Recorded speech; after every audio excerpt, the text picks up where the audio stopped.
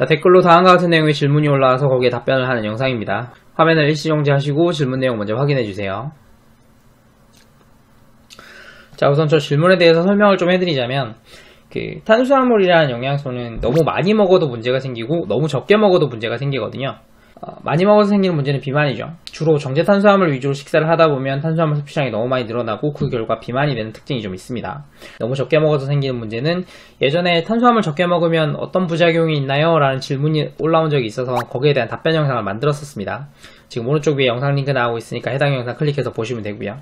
그래서 저 영상들 다 보신 다음에 그렇다면 탄수화물을 많이 먹는다는 고탄수의 기준은 얼마고 탄수화물을 너무 적게 먹는다는 저탄수의 기준은 얼마인가요? 라고 이제 물어보신 거죠. 그 기준에 대해서 좀 이야기를 해보려고 합니다. 보통 이런 질문을 했을 때 몇 그램 이상 먹어라, 몇 그램 이하로 먹어라 이렇게 그램수를 정확하게 정해주기를 원하시는 분들이 많은데 그 그램수를 정확하게 정해드리기가 굉장히 힘들어요. 왜냐하면 사람마다 필요한 탄수화물의 양 자체가 다르거든요. 자, 탄수화물은 우리 몸에서 주로 사용되는 것이 뇌에서 쓰는 포도당과 간과 근육에 사용되는 글리코겐입니다. 자, 그러면 머리를 많이 써서 포도당의 사용량이 많은 사람이라거나 혹은 근육량, 활동량, 운동량이 많아서 글리코겐의 사용량이 많은 사람은 필요한 탄수화물의 양이 당연히 많아요. 근데 반대로 그렇지 않은 사람의 경우에는 탄수화물 양이 적겠죠.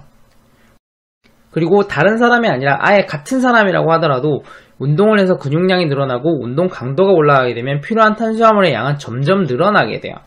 반대로 운동을 쉬거나 운동 강도를 낮추게 되면 필요한 탄수화물 양은 점점 줄어들게 되겠죠. 그래서 어떤 특정한 수치를 정해놓고 딱 거기에 맞춰서 먹는 건 사실상 불가능하고요. 내 몸의 반응을 보면서 거기에 맞춰서 드셔야 돼요.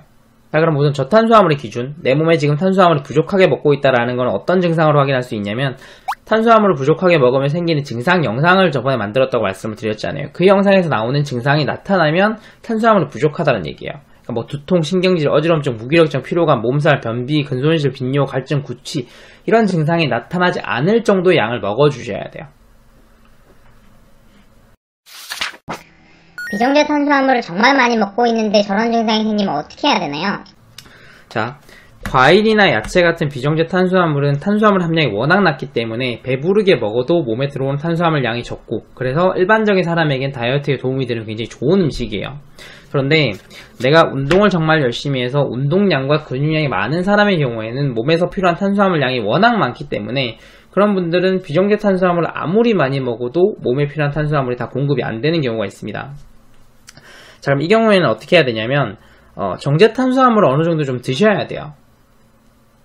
자, 그러니까 뭐 비정제 탄수화물 먹지 마시고 싹 다 정제 탄수화물로 드세요. 이런 얘기인 게 아니라 비정제 탄수화물은 원래 드시던 만큼 드시되 운동에 필요한 탄수화물은 부피가 작고 탄수화물 함량이 높으면서 소화 흡수가 빠른 어, 그런 정제 탄수화물을 섭취한다라고 생각을 하시면 돼요. 실제로 운동하시는 분들 중에는 뭐 운동 전에 그 힘을 내기 위해서 뭐 정제당이 좀 들어있는 음료수라든지 아니면 탄수화물 부스터를 먹는 경우가 좀 있습니다. 그리고 여기서 가장 중요한 건 너무 많은 양을 먹지 않도록 주의를 하셔야 돼요. 아무리 운동을 열심히 하더라도 내가 운동으로 소비할 수 있는 탄수화물보다 많은 양의 정제 탄수화물 섭취하면 당연히 비만이 되는 문제가 있습니다.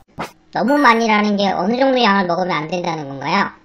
정제 탄수화물 너무 많이 먹어서 생기는 증상을 우리가 알고 있잖아요. 그 증상이 오기 전까지 보시면 돼요. 가장 대표적인 증상이 가짜 배고픔이죠. 충분한 양의 식사를 했는데도 불구하고 입이 심심해서 뭔가가 먹고 싶다거나 혹은 배가 고픈 간격이 너무 짧은 경우에는 정제 탄수화물 너무 많이 먹고 있다는 경우니까 그런 경우에는 섭취량을 줄이셔야 됩니다. 자 정리하겠습니다. 탄수화물의 섭취량은 사람마다 필요한 양이 다르고 그리고 같은 사람이라고 하더라도 지금 내가 생활하고 있는 생활 패턴, 운동량, 활동량, 근육량에 따라서 달라지기 때문에 정확하게 몇 그램에서 몇 그램이라는 숫자를 정해드릴 수 있는 건 아닙니다. 다만 탄수화물이 부족했을 때 우리 몸에 생기는 반응 그리고 탄수화물을 너무 많이 먹었을 때 우리 몸에 생기는 반응 두 가지는 우리가 알고 있으니까 그 두 가지 증상이 생겨나지 않는 사이점을 드시면 그게 내 몸에 적절한 탄수화물 양이라는 얘기예요. 그러니까 내 몸에 필요한 탄수화물은 다른 사람이 알려주는 게 아니에요. 내 몸이 알려주는 거고 그래서 몸의 반응을 보시고 몸이랑 대화를 하셔야 된다는 거예요. 열싸죠?